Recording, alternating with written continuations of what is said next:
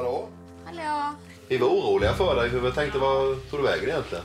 Ja, jag har varit ute och gått lite. Tänkte om ni ville, eller kan ni följa med ut en stund? Ska vi komma ut? Okej, då gör vi det.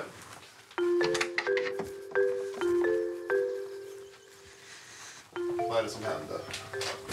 Hon kanske har en överraskning till oss.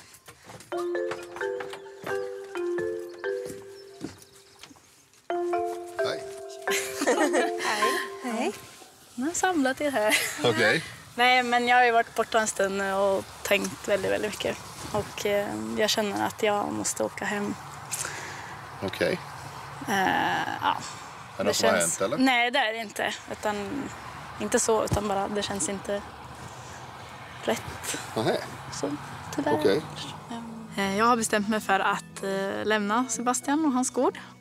Det har känts nu under dagen att jag känner inte de känslorna som behövs för att kunna fortsätta vara kvar.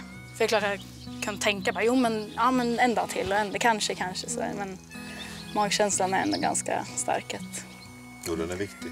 ja, jag har lärt mig det. Men jag är jätteglad. Från början var det ju väldigt roligt att eh, liksom man kom med och speeddaten tyckte jag gick jättebra. Men så när vi vaknade i morse och Sebastian kom och väck- eller jag sa god morgon och så här så vart väl känslan väldigt mycket mer bekräftad att det här är inte där jag ska vara. Ja, det var tråkigt att höra. Ja, det måste kännas rätt liksom. Ja, det är klart. Eh, det kändes eh, tråkigt att hon eh, valde att åka. Ja, men vi säger ju hej då sen. Ja, det gör vi. Ja. Jag tror inte att jag hade kunnat göra någonting annorlunda för att hon inte hade åkt hem. Utan det är ju, så är det ju när man träffas och ibland klickar man och ibland klickar man inte. Mm, men här får du ta med dig i alla fall. Ja, det ska jag verkligen Även göra. om du inte vill ha öronpropparna kanske. Jag tycker att eh, Carolina verkar vara en, eh, en rolig, glad och härlig tjej. Som jag skulle vilja lära känna mer. Här står ni. Det var väldigt oväntat när Carolina berättade att hon skulle åka hem. Jag trodde aldrig att det var något sånt som var på gång. Så det var en liten chock. Jag kan sätta det här så länge. Det var jättetråkigt att Carolina bestämde sig för att åka hem. Samtidigt skönt att vi slapp eh, ett val imorgon. De har ju för sin egen del chans att lära känna Sebastian lite till.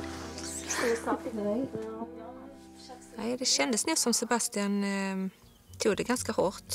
Eh, det är väl klart, det är väl aldrig kul när någon kanske lämnar så, men eh, ja, det är lite så, sånt som han får vara beredd på också. Och lycka till nu. Tack. Och välj rätt. Ska försöka.